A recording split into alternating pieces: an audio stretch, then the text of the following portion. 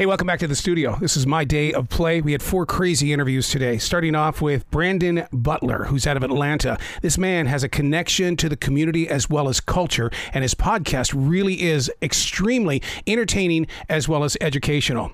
And then we spent some time with Rosanne Parry. Rosanne Parry has written a book about so many different animals. This this new one is about horses, wild horses, the Pony Express. Yes, it's a young adult read, but man, I'll tell you what, she really gets into storytelling when it comes to animals.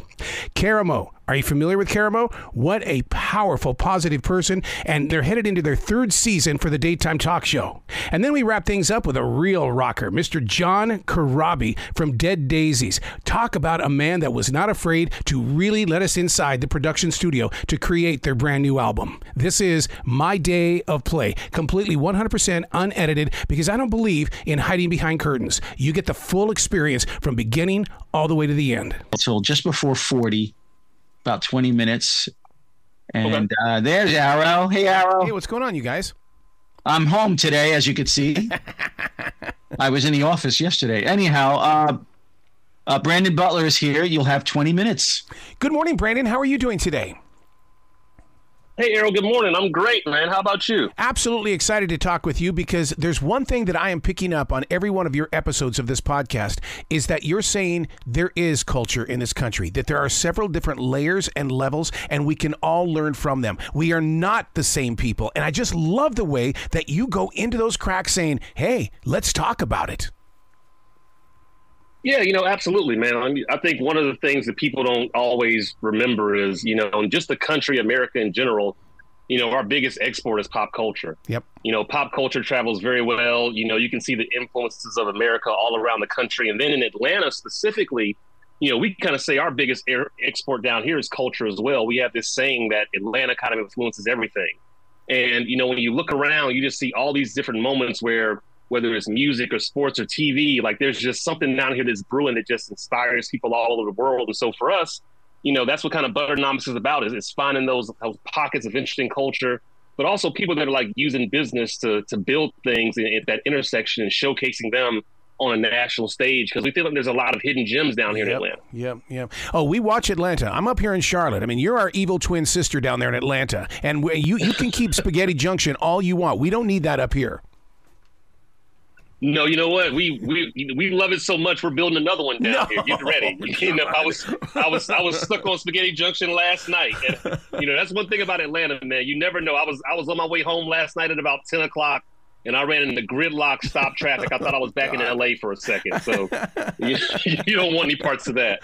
Uh, the way that you get into your conversations, I would love to know how you show prep because you do it so naturally, especially your conversation with Jay Carter. I realize you guys have known each other for a long time, but but the idea of a podcast was brand new for you at that point in time, and you just went through it so smoothly, talking about you know how how he wasn't interested in going for the big names necessarily. He just wanted to have a successful festival. Yeah, absolutely. I mean, part of that obviously is a relationship. You know, I've known Jay for, you know, 15, almost yeah. 20 years. And that's one of the beautiful things about Atlanta is a lot of us, you know, we all have kind of met each other and known each other just over the years organically. Um, I actually, when I, you know, in a previous life, you know, I actually helped him do the marketing for his very first one music fest. And so it's just been an amazing, um, you know, thing to kind of watch, uh, you know, how that's grown into this, you know, huge, you know, cultural moment but yeah, man, you know, a big thing with me with just, you know, show prep and just getting ready is I'm gonna tell you a little secret, Arroe. I always wanted to work in, you know, radio and broadcasting. And so for me, um, I'm really appreciating these opportunities to tell these stories. Mm-hmm. I really try to kind of dig in and um, go a little bit deeper than the whole. So how'd you start and what inspired you?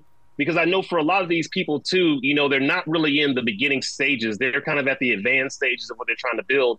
And those stories don't always get told. You know, we talk a lot about when people want to start something or how they raise money or you know how they got the idea but nobody talks about kind of that messy middle of business when you're kind of in years you know three five ten and you're kind of you know you, things are going well but it's not as sexy as it was in the beginning when you were launching. And so that's kind of the idea behind butternomics is to kind of bring out some of those stories to give people some you know tactical kind of advice and really kind of give them something they can take away and hopefully apply um, to when they start reaching that level as well.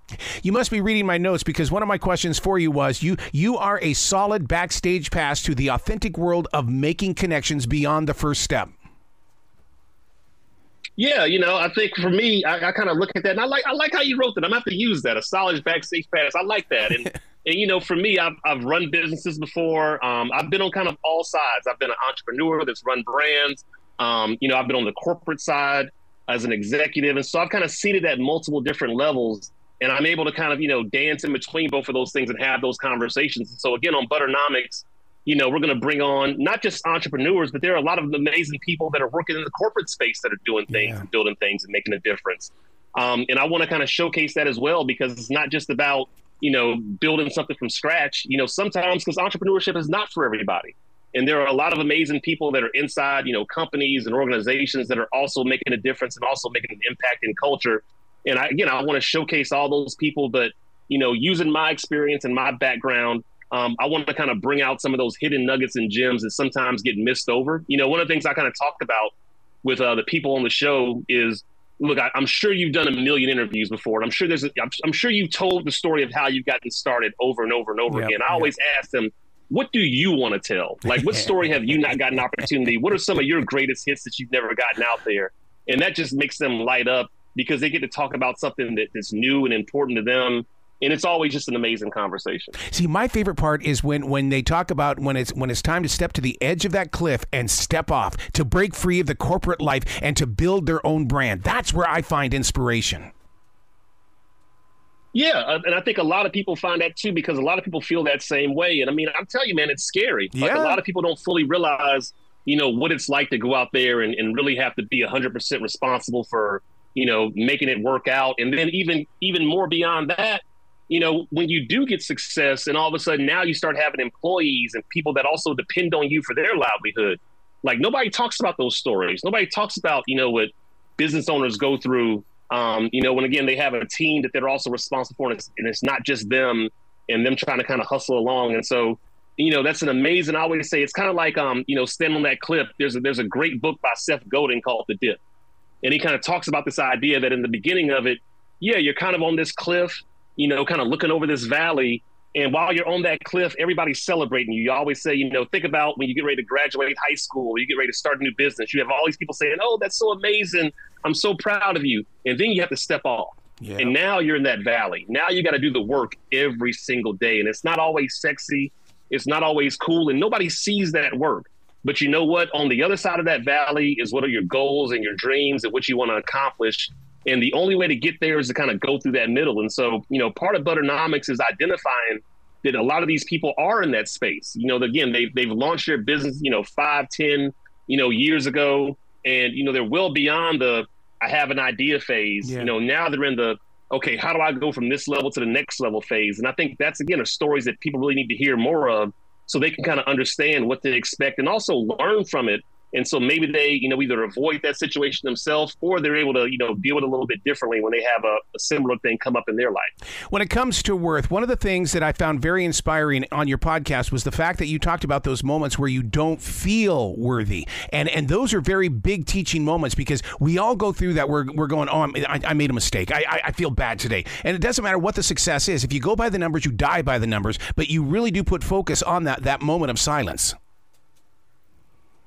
Yeah, man. Look, one thing I've learned over my career, and I'm gonna tell everybody that's listening, this is the truth. A lot of people are just making it up as they go along. Yep. you know, some people, some people do a better job of others than hiding it.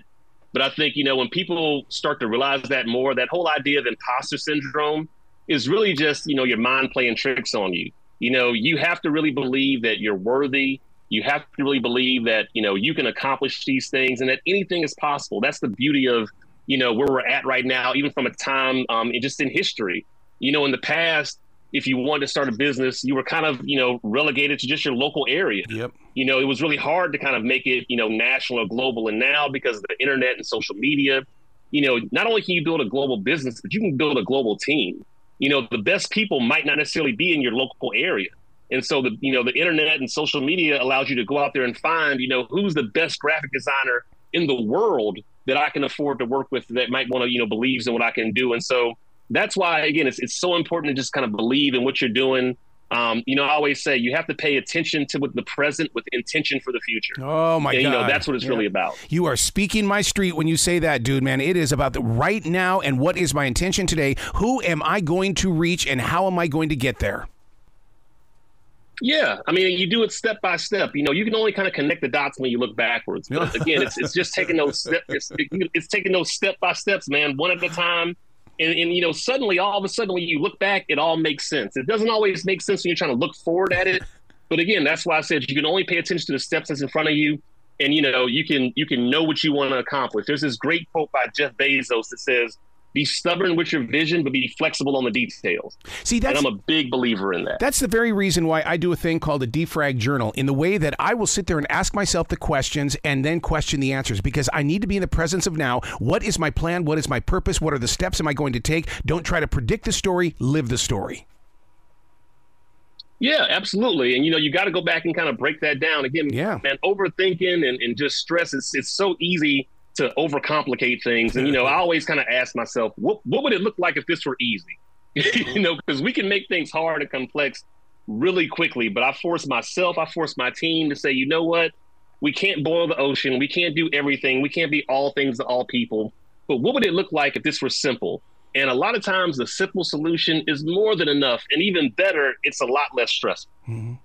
Melissa Mitchell, she is one of a billion, but yet she had the guts to look beyond that nine to five job while others are trapped. I believe that this one right here, this episode, is going to change other people's lives. Yeah, you know that's my hope. You know, Melissa's been a great friend. I've seen and watched her kind of build her, you know, her career and what she's been doing. I, I knew her when she used to work at Coca Cola and corporate. Yeah and again, just to see somebody, I mean, you know, she was making good money. She had a very safe career at a great company, but she knew she wanted a little bit more. And it's it's just so interesting because what she was doing at Coke is so far away from what she's doing now. And she felt like she always kind of had that in her. And so again, it just takes people that you need to have those guts if you're willing to do it. I, I tell people all the time, entrepreneurship is not for everybody. I think there are a lot of people out there that are a lot more stressed out because they're trying to run something when they might be better as a number two or a number three or a number four in an organization.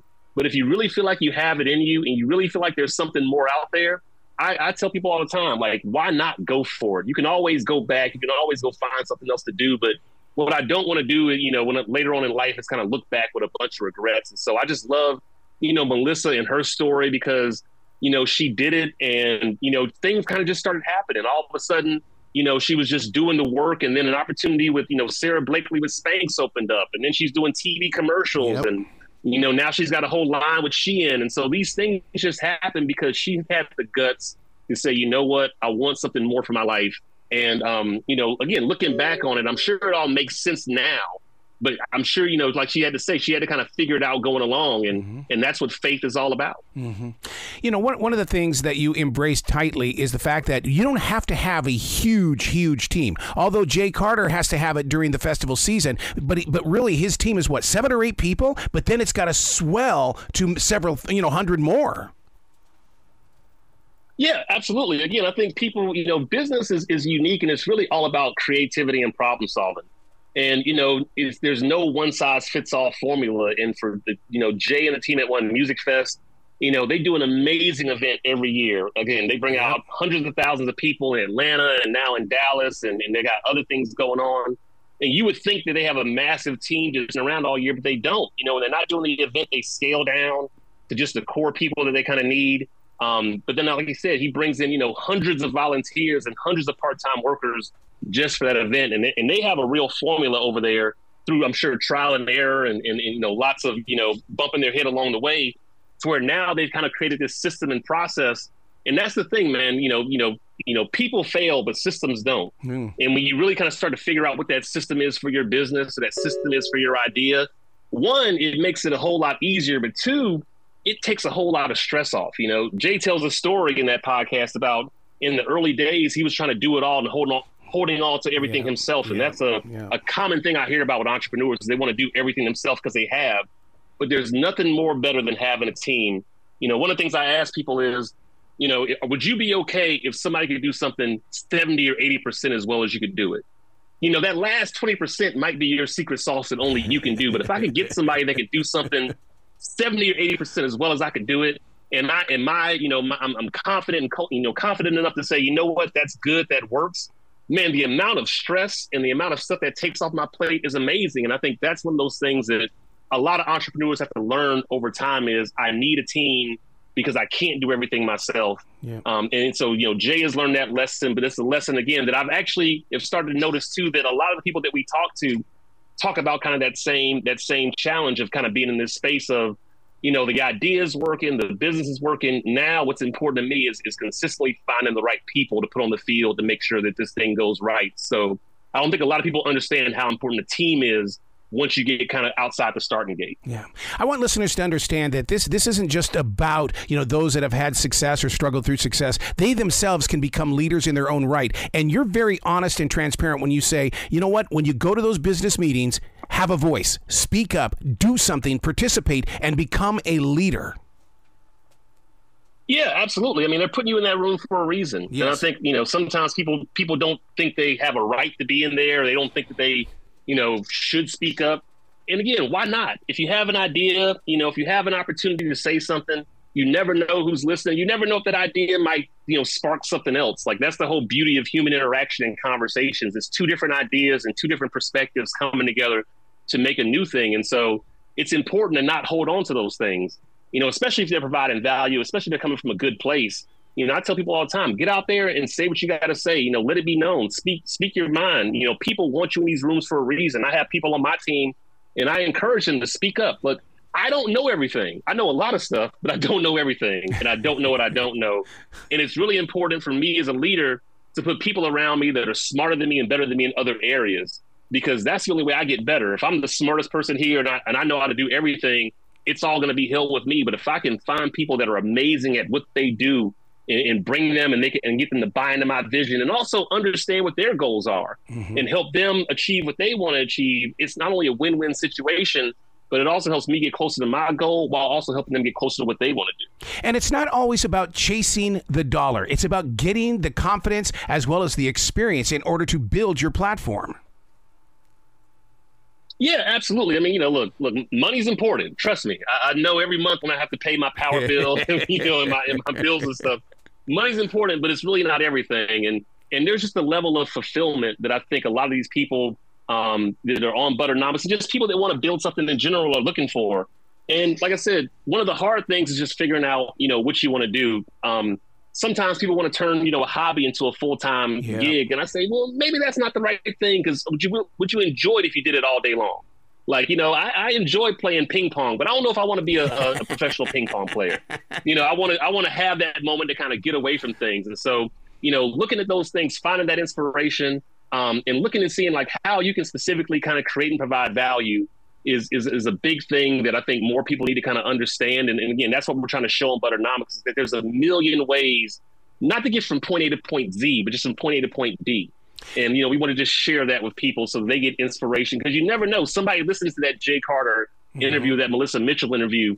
They might not want to do that exact same thing, but that might inspire them to do something as well. And so you never know where that's going to come from. And hopefully, people are hearing that stuff and they're saying, you know what, if they did it.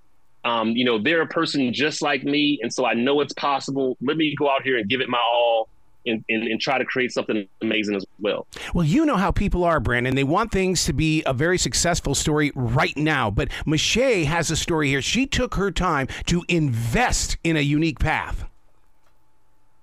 Yeah, you know, we, we live very much in kind of a microwave uh, time right now. I think, you know, I was I was telling my daughter about this a couple of weeks ago where a lot of times um, we don't have as much patience because everything is accessible right now.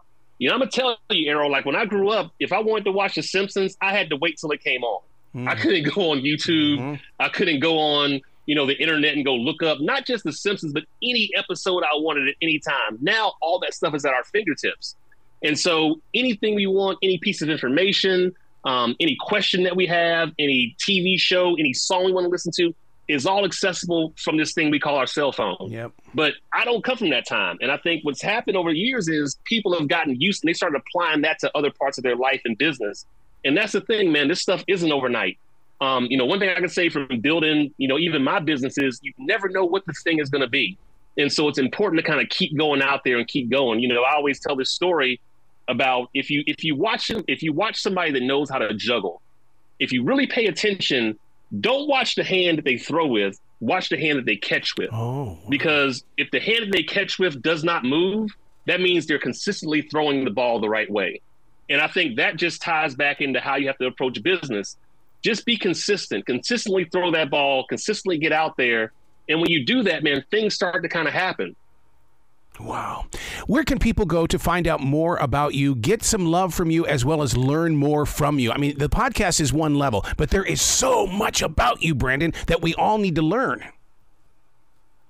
Absolutely. Well, I would tell everybody, please go look up Butternomics um, on iHeart, the iHeart app, or anywhere that you stream your podcast. We're on all platforms. And please go check us out and, and like, follow, and subscribe.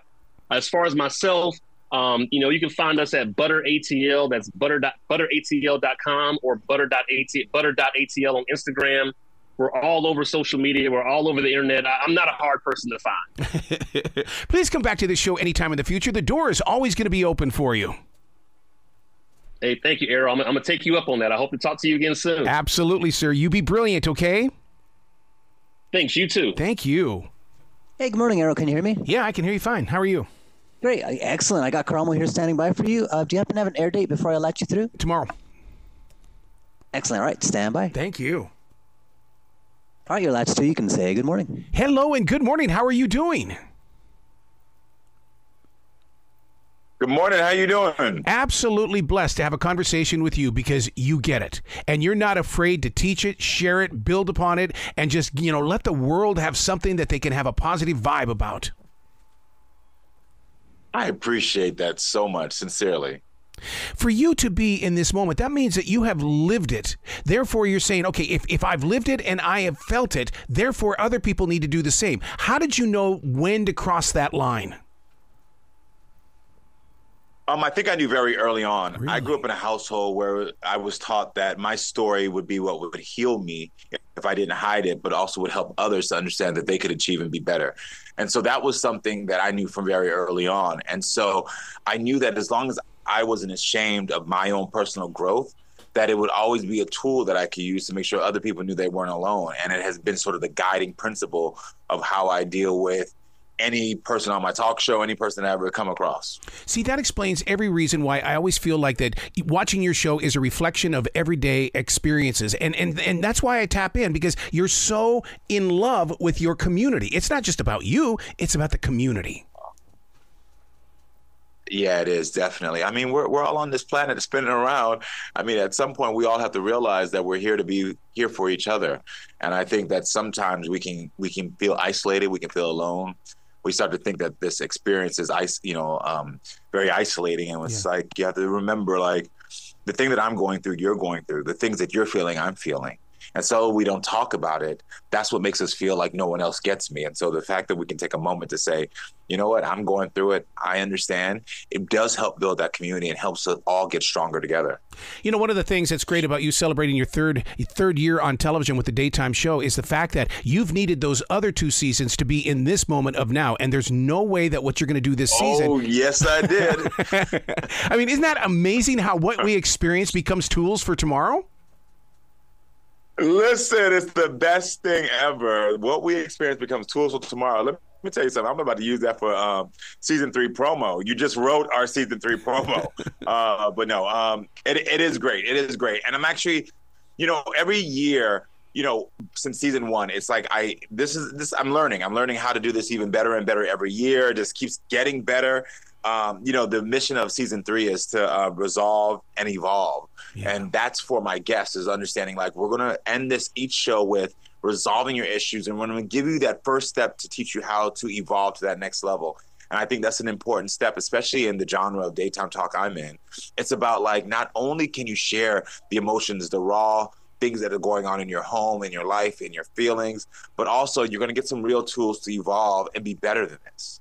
One of the things that you've got is the fact that you've always got your eye on uh, on those of us that are watching it. Because I mean, I feel like that even when, when there's family squabbles on there, your heart is saying, "Okay, how can I learn from this so that my viewers can learn from it too, and make sure that they they have that connection of understanding." Yes, definitely, hundred percent. Yeah, it's it's important. Yeah, yeah. Transparency. Oh my God, how do you take that to the lens of a camera and and feel great about being truthful in your faith? I'm I'm not ashamed of anything that I've been through or anything that I, I plan on going through. You know, I end these shows saying, "Let's keep talking and growing," mm-hmm. because I think that's the only thing we can do on this earth. That's one of the things that we know is constant.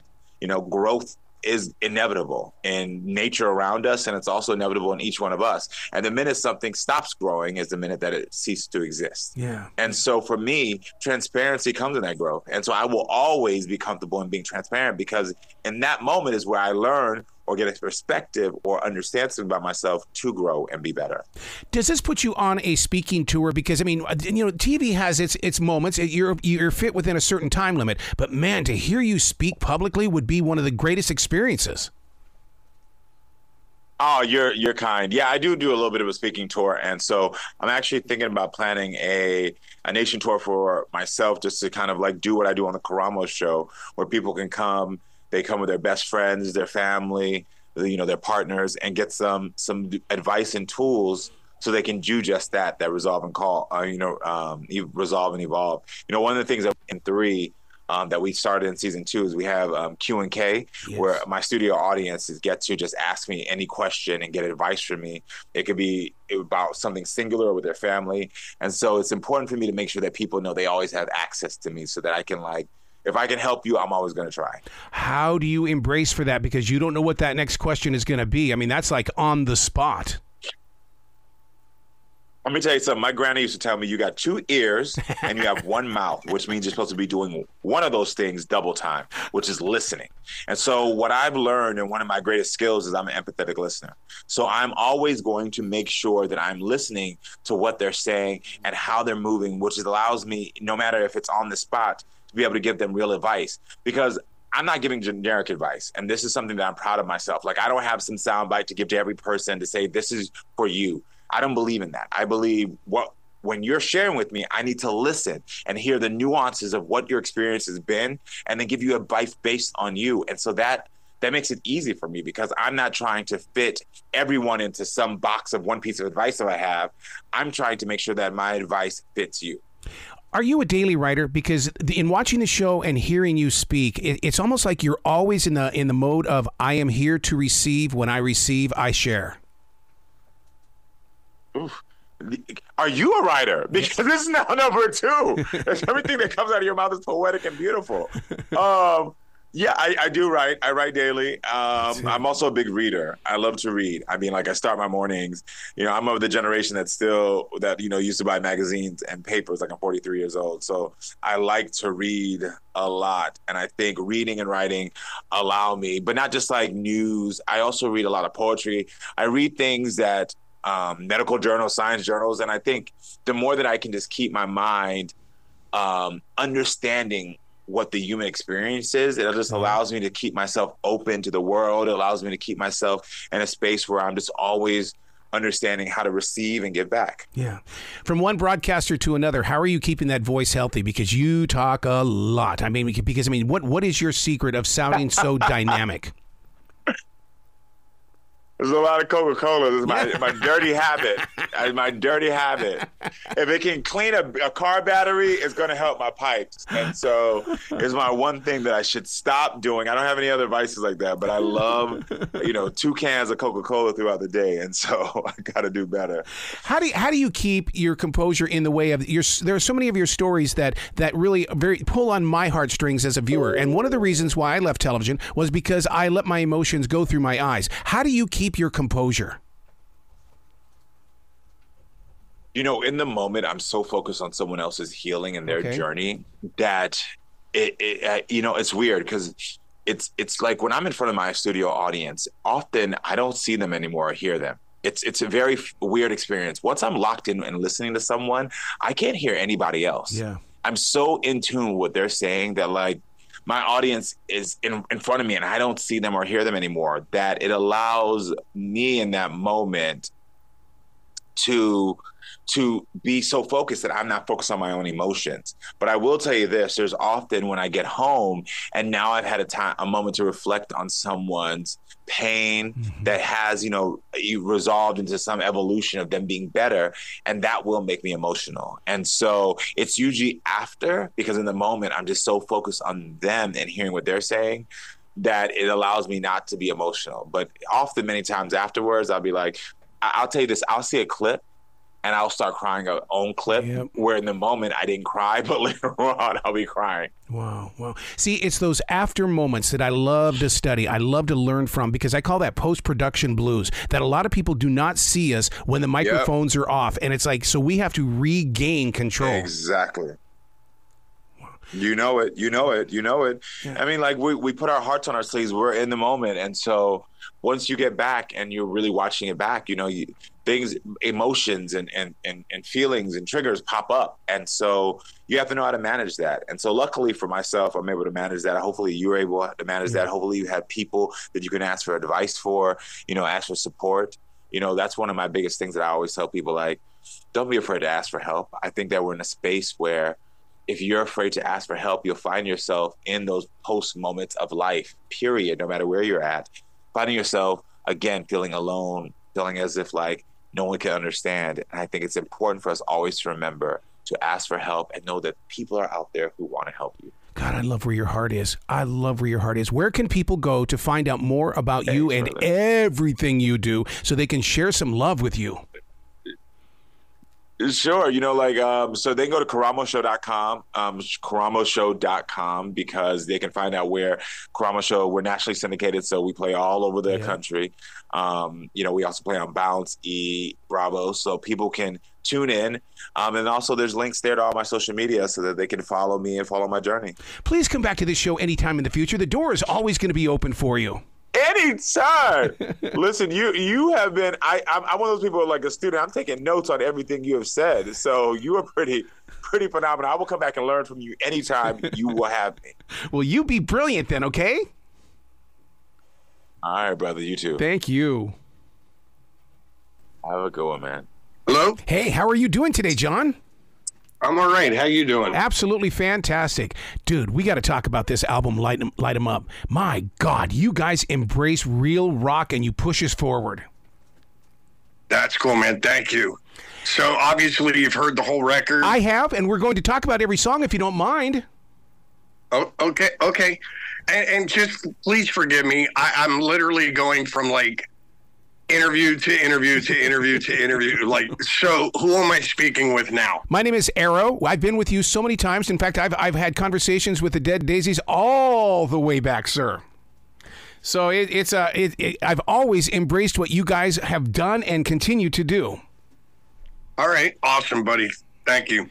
First of all, let's let's start off with the single "I'm Gonna Ride." You talk about an anthem here. I mean, I realize it's about you know dropping our worries and stresses, but this is an open road song.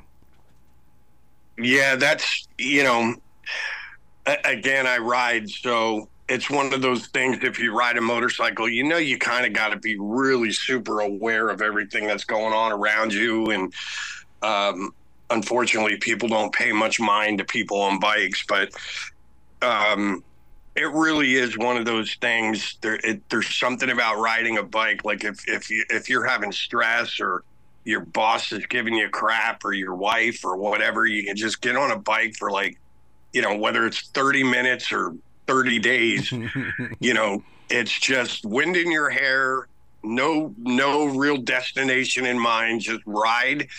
And then, you know, once you get home, your head is clear and you're ready to tackle the world again. Is that But uh is that the reason why the, the songs have that rhythm to it? Because I, I, I it feels like that, that it's an engine. The speed of each and every song has its own kind of a, a source of speed to it. Yeah, I, I think you know, you know, for me, when I'm when we write, it, it, it's it's weird because a lot of people ask me, uh, like personally, how I write songs. Do I write the lyrics first and then the music to that, or do I write the, you know? And for me, it's always worked in a manner where I listen to the music and I just kind of get a vibe. I it, it's the weirdest thing. Like I'll literally be listening to the song, the page is blank, and I listen to the song, and then all of a sudden I just start seeing like it's almost like uh, you know storyboards for a movie or vignettes from a video. Do you know what I mean? Like I just start seeing things, and then it's like, oh, yeah, okay, that's what I want to write it about I had that feeling, that vibe, because I had started working on that song when I was out of the Daisies. Wow. And uh, oddly enough, I worked on it with um, Keith Nelson, who used to be in Buckcherry. Now he's like a, you know, he's got his own studio. He's a producer and songwriter. And so I started working on it with him and I came home and I just put music down. I didn't have any lyrics. I didn't have uh, the song was a bit different, but I listened to it and I called him. I said, "Hey, dude, I think I'm going to just write this song about riding a bike." and he goes, "Okay," because he rides as well. He goes, "Well, what are you going to call it?" And I was like, initially, I was just like, "Ride." Yeah. But um, then we looked at it. I showed it to Marty. I put it in Dropbox folder when we started working on this record. It wasn't finished. And we definitely altered the song quite a bit. But um, you know, took parts out, added things, did all this other stuff and and then uh, when I told Marty what I wanted to write it about, um, I sat down and worked on the lyrics with Marty, and we called it "I'm Gonna Ride." And uh, again, it's just, you know, we're inundated 24 hours a day, seven days a week with bad news Yep. and just TV and just all this garbage. So I, you know, we just said, you know what, dude, let's make it about clearing your head and just getting out of a, just getting out of the, or getting away from the stress or the, you know, everyday mundane shit that drives us all crazy. So um, that's what we wrote it about. Just clearing your head and getting out on the road with no destination in mind. When you talk about building a song like this, all of a sudden it reminds me of the song Times Are Changing because the way that the song builds up, my heart is going, here comes the vocals. God, I oh, here they come, here they come. And then all of a sudden you start singing it and it all comes together as a solid tune. But I mean, I love the song Times Are Changing. That's, you know, and I, I got to credit where credit is due. That was something that Marty actually put in the Dropbox folder. Wow. and he was like, "Hey guys, I wrote this song. He wrote it with somebody else, or he wrote it like and never used it." Hmm.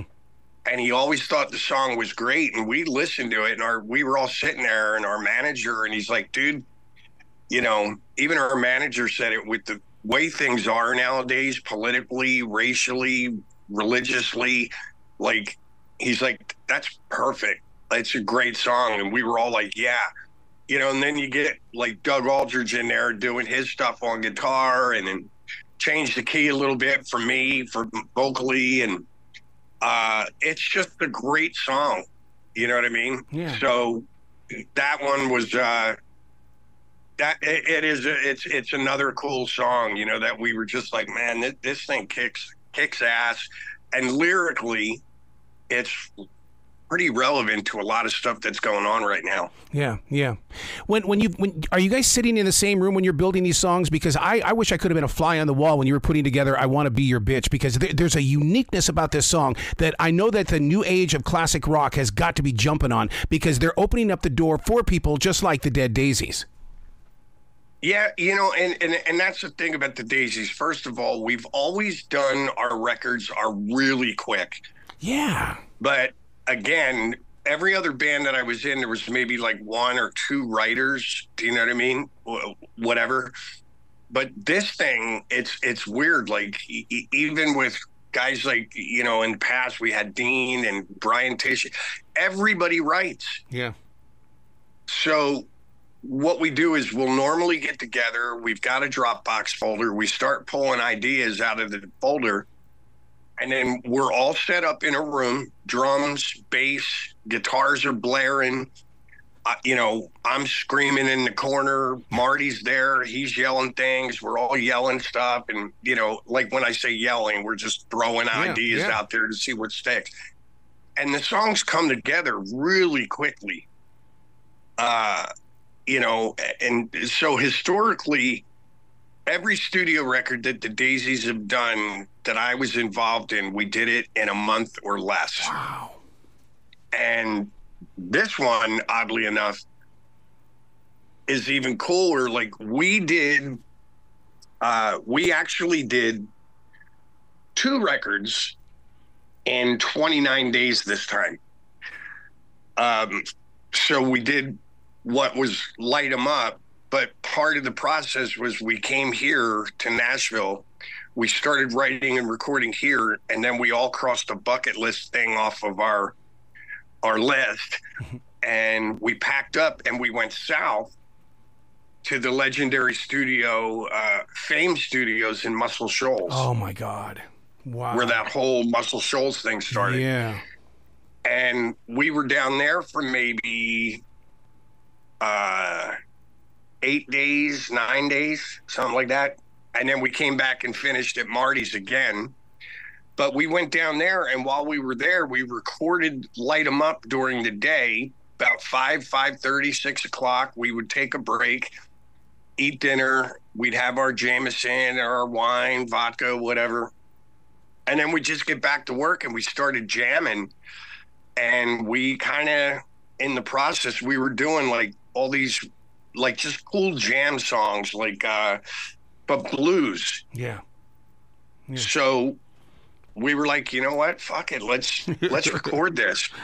And we literally recorded 10 classic standard blues songs. Wow. Wow. Is that And the then we went back to Nashville and we finished Light 'em Up, you know, so um we did uh we did Light 'em Up, wrote it, recorded mixed it and mastered it. And the blues we didn't write the songs, but we rearranged them and we did do some writing on it. Mhm. Um, but we recorded, mixed, and mastered an entire blues album as well. God. Now, is that the reason why I keep hitting repeat on these songs? Because you guys didn't sit there and do it again, do it again, do it again, do it again. Because it's so fresh to hear. Well, you know, so what we do, what we do, like when when I say we're in the room bashing ideas out, I call I call it making a map. Yep. So what we'll do is we'll we'll kind of figure out like, okay, that's the beginning. There's the verse. There's the chorus, a bridge or solo, whatever, and then there's the last chorus and there's the ending. So we get a map together, and then once we've all agreed, Marty included, okay, I, that that sounds pretty good. Then what we'll do is we'll just go in and like I'm kind of scatting. I have no lyrics, but I'm just kind of scatting Yeah. the vocal. And we'll go in and we'll lay down like three, four takes of each song, Wow. but it's live off the floor.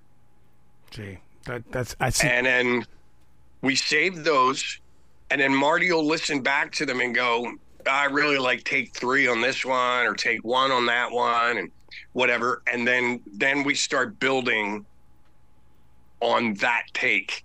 And when I say building, it's normally just Doug doing his guitar solos, and then I just go off into a room and I just close my eyes and listen to the track and start writing lyrics uh, you know, and then and then at which point, like, th- then now this time the guys actually left and went back to their, you know, respectable homes or whatever, and I stayed and just started singing all the songs with Marty. You know what I mean? yeah, I do. I do. But uh, we did both records, dude, in 29 days. God. God. How did you put the special effects of making it sound like that it really goes back in time when it with the song Back to Zero? Because I really feel like that we're going back. You've you've got that vibe in there. Back to Zero's funny, man. It's just it was a riff that Doug had. Doug had that riff from the chorus. Uh, I don't know if you, you know the chorus, if you want to call it a chorus, whatever. The chorus part of that, Doug had the riff, and then we just started jamming it again.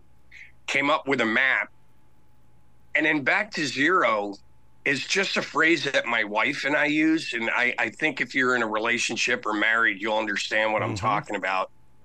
But you know, in the beginning of a relationship, you meet a girl and you're like, oh my God, it's so fun. You can't wait to see her. Like your car can't get go fast enough to get to her house. The sex is awesome. You know, but the longer the relationship goes, then life starts creeping in. Oh shit, I got to pay these bills. I, you know, she's got to take the kids to school. You know, there's like, oh, we're, you know, whatever. It could be something simple as far as like making dinner or cleaning the house. Life creeps in. And my wife and I have a phrase that we use to each other. Like every time I get home from tour, I have a I have a motor home and pack it up with my dogs, my wife. We load it up and we'll just go somewhere. Yep. And it's just her and I checking out, no phones. Don't want. I tell I, even my managers. I I go. I'm going away with my wife. Don't call me. And you know, we we have two phrases. We either use we're going to hit the reset button, or we're taking it back to zero. Nice. So the song really is about okay god like this is all this shit is getting in the way. Like let me take it back to zero. That's why i say woman woman take me take me right back to zero. Do you know what i mean? Yeah, I and it's just about it's just about uh checking out of life checking out of life for a minute and just taking your significant other out on whatever date night, date week, date month, whatever, and just hit and reset. Yeah, yeah. John, you got to come back to this show anytime in the future. The door is always going to be open for you. Thank you, buddy. Well, congratulations on this brilliant album, man, and I cannot wait to see you guys live as you hit the road. Yeah, we're we're actually oddly enough, I'm leaving Monday, uh, heading to the UK. Uh, we're gonna hang out over there for a couple days, do some rehearsing because we haven't seen each other for a bit. So we're gonna rehearse for a couple days, and then we kick off our UK tour on the sixth. The album comes out the sixth. Light them up, and then uh, take a little break, and then we're back over to Europe in November, right up to the holidays, and uh, and then. Uh, and then it's Happy New Year 2025, onward and upward. I love it. Will you be brilliant today, okay, sir? I'll try. Thank you. Thank you so much. All right. Hello and good morning, everybody. Hi, Arroe. Are you finished with the other interview? Yeah, I was talking with John Corabi from the uh, Dead Daisies. He's, he's he's one of those rock stars. Oh, okay. I've never heard of the Dead Daisies. Oh, you'd like him I'm if you- sure you If you like some you good were rock, awesome, and he was too. yeah, yeah, he was- Yeah, but you know, I'm more of the jazz lady. Okay. Now that I'm getting old. I love me some jazz too because to me that's where funk music is right now is in jazz. yeah, yeah. Have, do you know who Brian Culbertson is? Sure, I do. Oh my God, I've seen him like twice. Oh, I'll follow that man to the moon. well, okay, let's see. Let's get down to business. So this will be aired. I have it. Let me look at my program log. I should always have it up here. The okay, here comes my program log. I've got it Saturday the thirty first. Uh, okay. Oh, eight three one. I'm Yep. getting confused today. Today has been the morning from hell. I tell you. but I do want to thank you for rearranging your schedule for us. That means a lot. Thank you so much. Carol. Absolutely, man. That's what teamwork is all about. Yes, it is. Yes, it is. Hold on just a second. Let's see if she's ready. And you can have a full 10 minutes and over if you like a little bit. Okay, excellent. Thank you so much. All right. She's ready. Have a great interview. If I don't talk to you, have a great Same to you. Labor Day. Yeah, and uh, go Chiefs. Yes, yes. Okay. All right. Bye-bye. Bye. And Arroe has joined. Hello and good morning. How are you doing today? I'm great. How are you? Absolutely fantastic and very excited to talk with you because you embrace animals and one that, that that is such my life and and I just I love the way that you're able to write about them to share stories to bring things together it, it's your, your heart is in the right place you. Thank you, thank you. Yeah, I have I have loved writing these animal stories. It's been really great to sort of sink into an ecosystem and go, okay, if I would, what would I, what would I notice if I was an animal? What would I be smelling? What would I be hearing? What would I be paying attention to? Right? Because it's not always what I'm paying attention to as a human, that's for sure. So, um, yeah, it's, it's been great fun to write. See, I understand that vision because I will do the same thing when it comes to you know being out here in this forest that I live in with a copperhead snake. What is that copperhead snake doing? Why this place? What what's going on? And so I do. I become them, and I don't know if that's because of the martial artist in me, but I want to be them to see what the human is doing to them. Yeah. Mm-hmm. Yeah, and just and I love it too when my animal characters come across a thing they've never encountered before. Yep. And and asking myself, what do what would they think that thing is? Because everybody understands a new thing in relation to the things that they already know.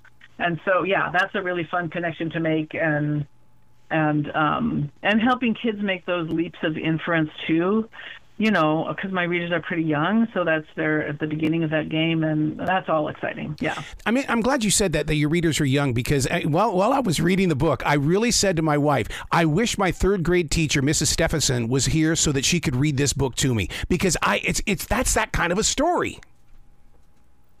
Hmm. Yeah, I really love read aloud ability. I read my work out loud all the time.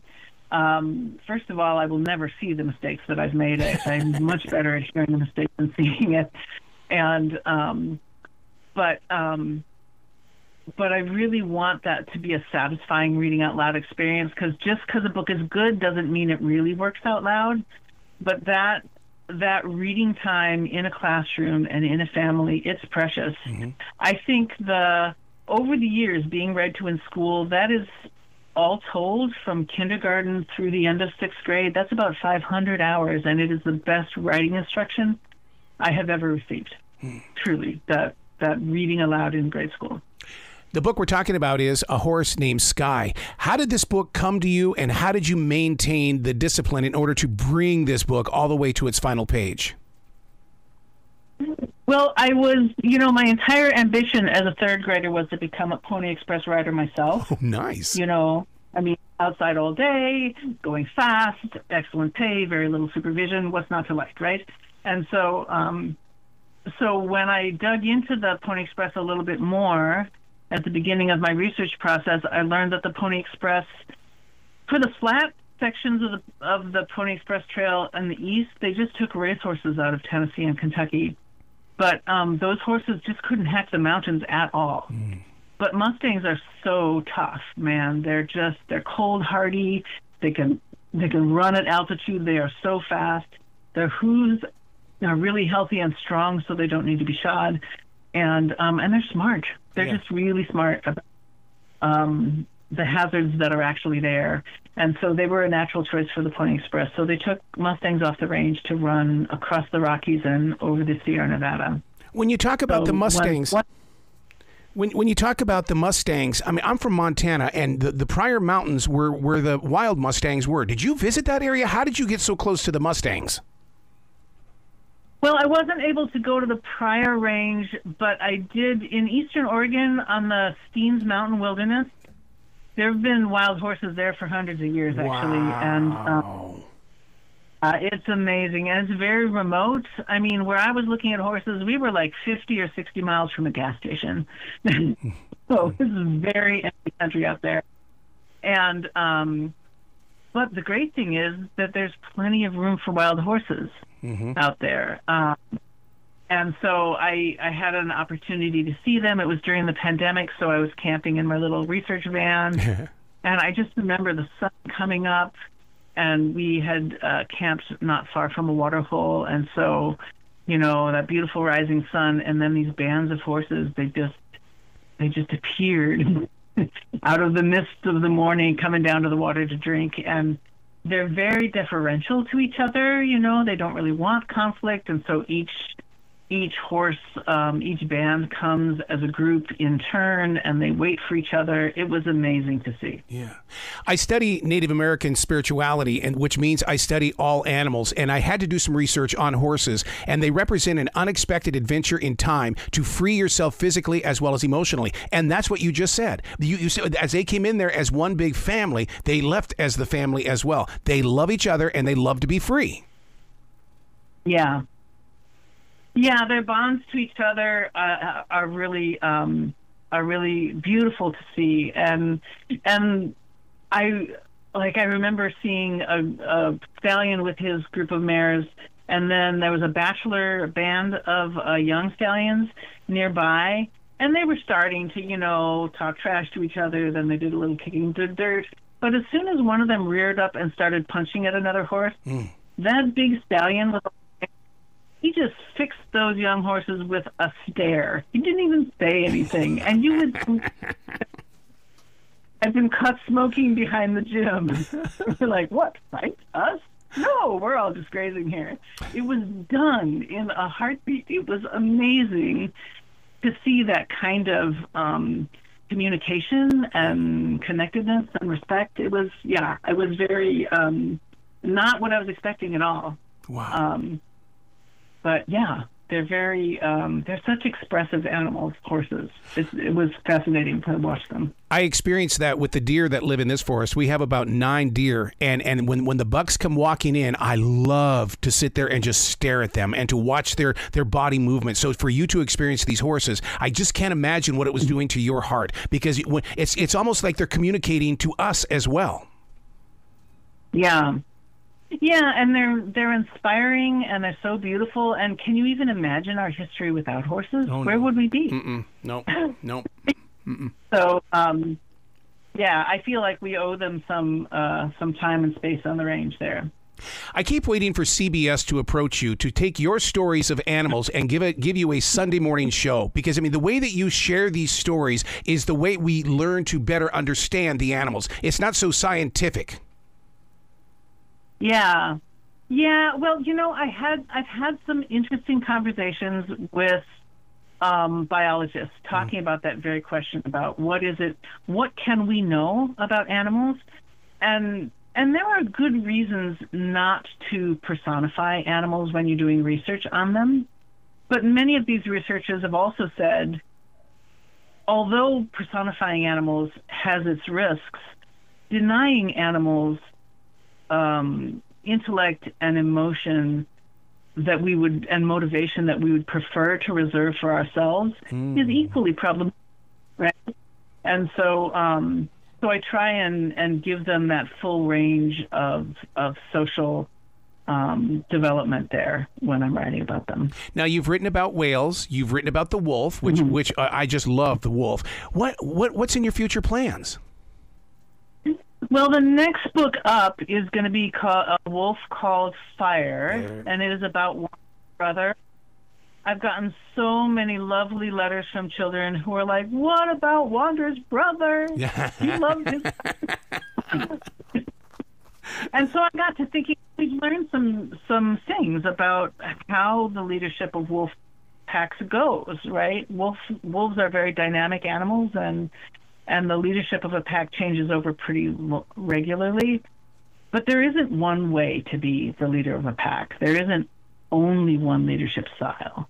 And so this book gave me an opportunity to show how a wolf who isn't the biggest or the fastest wolf in the pack, how he finds his own way to becoming a leader when he's left behind with um, with the pups of his his home pack. I love the So idea. that was I love the idea that you've got such a connection with your readers that you allow them to reach out to you. Yeah, I love the letters I get from kids. It's pretty inspiring. hmm Yeah. Because in in reality, I mean, you could be that author that gets them to pick up a writing instrument to share their own stories. We all have art authors that really gave us that inspiration. Yeah.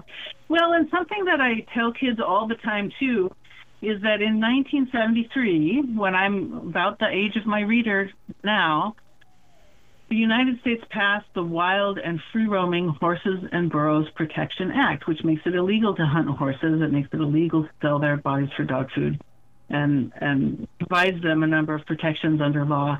That law did not have any constituency advocating for it except for children. Mm-hmm. Wild Horse Annie wrote a bunch of, uh, you know, op-ed things in a newspaper, but she only ever heard from children. So she went around from school to school and talked to children, and thousands and thousands of children wrote to their members of Congress, the governors, the Department of the Interior, saying, wild horses deserve our protection. And so it is the only law that I know of that was passed almost entirely on the advocacy of children.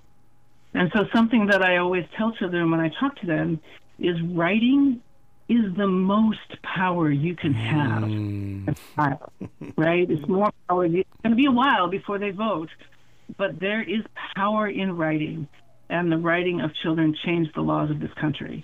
And that I think is really important.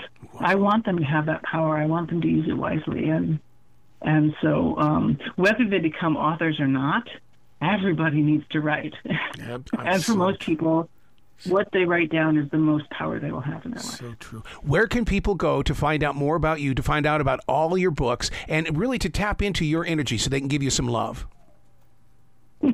Awesome. I have a website. It's rosanneparry.com. Um, I'm on Instagram sometimes, um, and um, also just rosanne.parry. And um, and also, children write to me at Annie Bloom's bookstore as well, which is where I work. It's my neighborhood independent bookstore. And so, um, if they want to send me an actual paper letter, that's a good way to go. I Annie Bloom's bookstore, Portland, Oregon. I love it. Please come back to this show anytime in the future, Rosanne. The door is always going to be open for you. Thank you. Well, you be brilliant today, okay?